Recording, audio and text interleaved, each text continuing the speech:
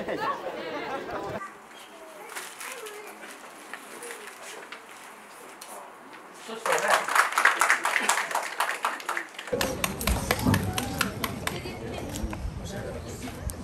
はようございます。おはようございます。琉球ゴールデンキングスの岸本です。えー、選手を代表して、えー、まあ、まあ、今日朝早いんですけど、あの今日一日通してあの少しでも地域社会にあの貢献できたらと思います。まあ普段僕たちはバスケットを通して、えー、地域社会に貢献するっていうことをあのやってるんですけど、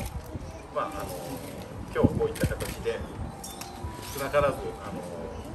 地域に貢献できたらと思いますので、えー、みんなで力を合わせて、えーと、安全に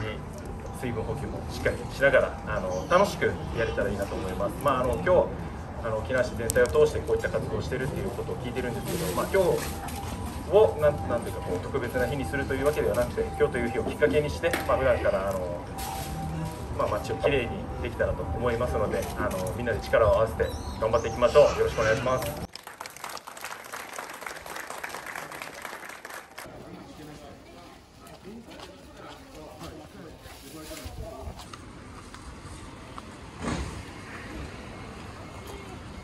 こ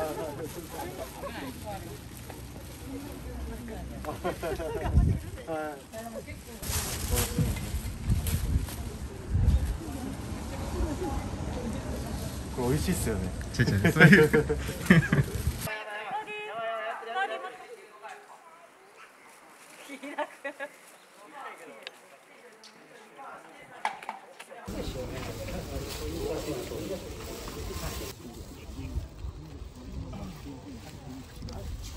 う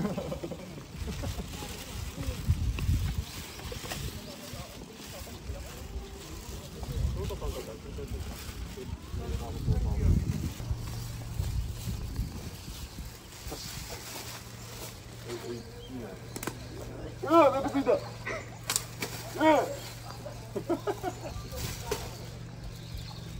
ほらもう。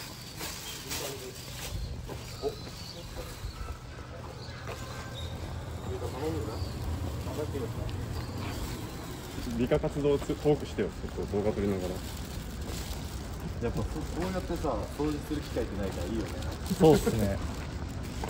まあなんかいつも応援してもらってる分なんか少しでも。いやそれはちょっとベタだな。あどうしたんやります濃い話。めっちゃでかい話。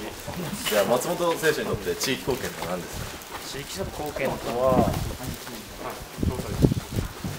あ、いつも応援したくしてくださる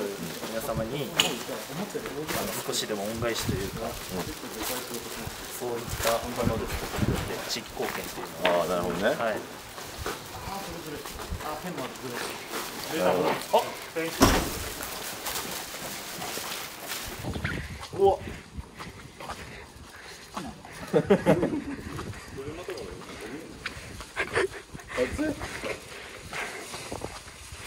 やばいカメラ出してたゴミに当たらせた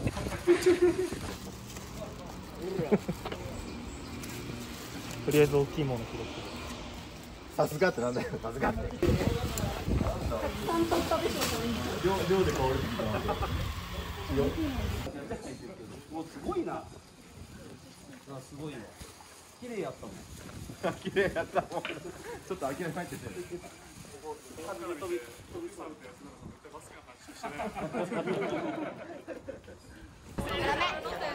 ダメ